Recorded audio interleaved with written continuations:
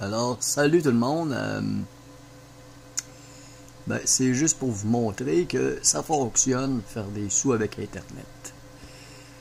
Euh, ça, c'est mon solde sur Amazon.ca. J'ai un solde de 75$ en date du 18 avril 2016. J'ai un 25$ qui est rentré aujourd'hui. Euh, j'ai un 15$ qui est rentré le 11 un 15$ qui est rentré le 6, un 5$ qui est rentré le 4 et un autre 15$ qui est rentré le 4 avril. Euh, ça, c'est pas depuis le début du mois d'avril que, j'ai amassé ce petit argent-là. Ça fait déjà quelques mois, là, environ 2-3 mois que je fais ça. Mais le dernier site que j'utilise, c'est-à-dire le 25$ et le 5$, ben ça, c'est depuis le début d'avril que je fais ça. Donc, pour un total de 30 dollars depuis, euh, ah, on va dire, là, le début avril 2016. Euh, c'est assez payant. Je vais vous donner euh, le lien en bas de ma chaîne YouTube, de cette vidéo-là.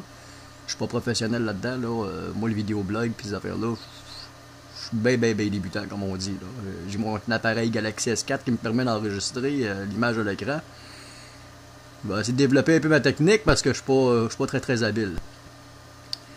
Euh, c'est un site que j'utilise. Euh, ce que je fais, j'utilise mon, Samsung Galaxy, j'installe des apps, puis les apps, ils travaillent pour moi pendant que je fais autre chose. Je fais mon ménage, je fais manger, puis pendant ce temps-là, ben, ça me fait faire des sous.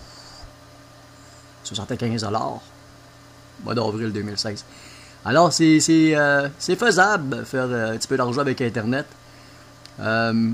Oui, je pourrais transformer cet argent-là en PayPal. Euh, j'aurais pu prendre 25$ PayPal aujourd'hui au lieu de prendre un argent euh, Amazon, mais c'est parce que je veux me payer un ordinateur portable avec ça.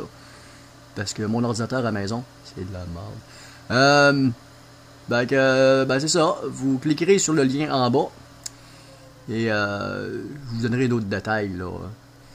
Mais je tiens à le préciser encore une fois, c'est possible de faire des sous avec Internet à Québec. Yes!